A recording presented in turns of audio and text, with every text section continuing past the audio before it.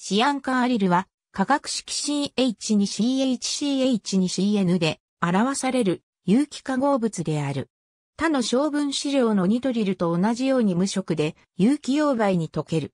シアン化アリルは接触阻害物質として自然環境で生成される。また、一部のポリマーでは化強剤として使用される。シアン化アリルは、酢酸アリルとシアン化水素の反応で得られる。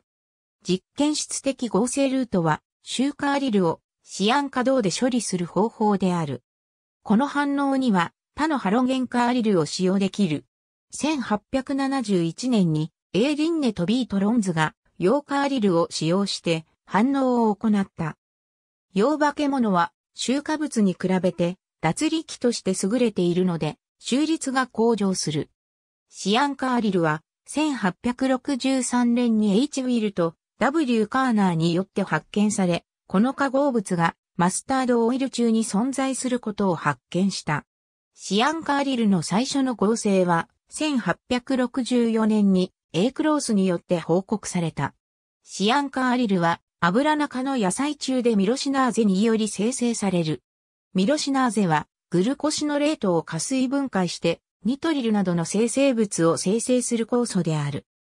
ミロシナーゼは pH の影響を受けて L アスコルビン酸によって活性化され、傷んだキャベツの葉ではより高いミロシナーゼ活性が示されているが、調理するとその活性は低下するが、グルコシノレートは腸内のミクロフローラによりシアン化アリルに変換される。キャベツ、ブロッコリー、カリフラワー、もやしなどの油中の野菜は人の食事の一部であるため、シアン化アリルは通常傾向摂取される。食事に含まれるシアン化アリルの通常の投与量は動物実験で使用される投与量よりもはるかに少ないことが示されている。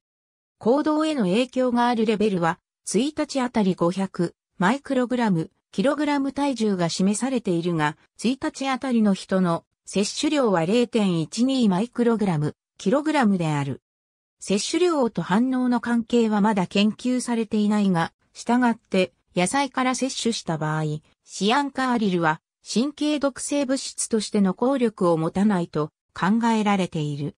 シアンカーリルはリチウム電池のグラファイトアノード用の炭酸プロピレンベースの電解質の添加剤として使用され、フィルム形成によるアノードの剥離を防ぐ。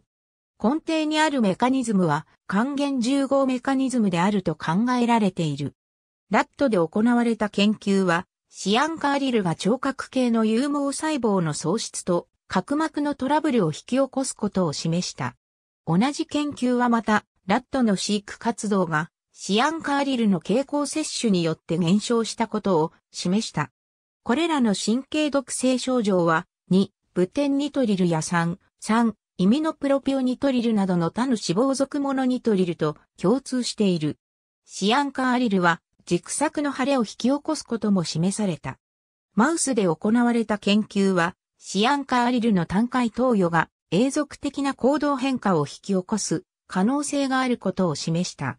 これらの変化には、頭の痙攣、自発運動の増加、及び旋回が含まれる。これらのマウスはさらに神経収縮に苦しんでいて、おそらく細胞死につながることが示された。羊はラットよりもシアンカアリルの毒性作用に対して、はるかに耐性がある。研究によると、この解毒は、ルーメンの全消化によるものである。シアンカアリルは、肝臓でシトクロム P-450 酵素系によってシアン化物に代謝されることが知られている。ラットにおけるシアンカーリルの吸収と分布は非常に早い。シアンカーリルの最高濃度は胃が蛍光投与後の主要な吸収部位であるという事実のために胃組織及び胃内容物で測定された。次に高い濃度レベルは骨髄にあり、投与後0から3時間で濃度のピークが見られた。肝臓、腎臓、脾臓、肺も48時間にわたってシアンカーリルを蓄積した。腎臓の最高濃度は投与後3から6時間の間に観察された。この観察結果はシアンカーリルの急速な消滅を示している。解毒の主な経路はシアン化け物からチオシアン酸ジオへの変換である。排泄の主な経路は尿と後期である。セロトニンとドーパミンのシステムは、シアンカーリルによって引き起こされる行動異常に関与していると考えられている。セロトニン及びドーパミン拮抗薬による治療は、行動異常の減少を引き起こした。運動失調、震え、痙攣、下痢、唾液分泌、流類及び不規則な呼吸は、シアンカーリルの経口摂取によって引き起こされる基地の作用である。ありがとうございます。